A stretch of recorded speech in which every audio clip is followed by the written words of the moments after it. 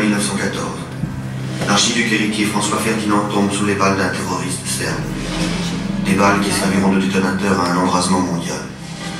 Car le feu couvre dans une Europe instable. La course aux armements bat son plein. Les rivalités entre nations apparaissent au grand jour.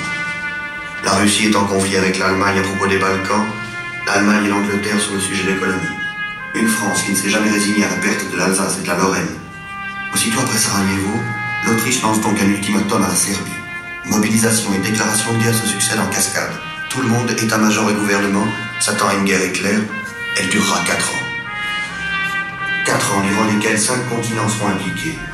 Par la tourmente, les Européens, bien sûr, Allemands, Anglais, Belges, Italiens, Russes, Tchèques, puis les Américains, mais aussi par le jeu des colonies des alliances, des Africains, Sénégalais et Marocains pour la plupart, des Indiens, des Australiens, des Turcs, des Néo-Zélandais, des Canadiens jusqu'aux Japonais qui s'emparent des positions allemandes au Extrême-Orient.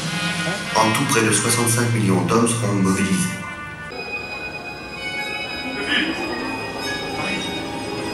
J'ai soif, mon capitaine. Ah, c'est vous, capitaine Roussel? C'est rien, faites pas attention, c'est c'est Fernand qui déconne un petit peu. Ils sont pas passés, hein, mon capitaine Les gars, ils sont pas passés. Hé, capitaine, si vous avez un petit coup